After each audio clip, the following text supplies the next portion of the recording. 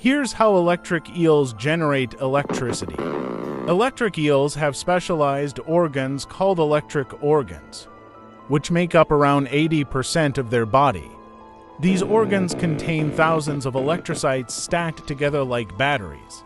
When the eel wants to generate electricity, it sends signals from its brain to the electric organs. This triggers the flow of ions mainly sodium and potassium, across the membranes of the electrocytes.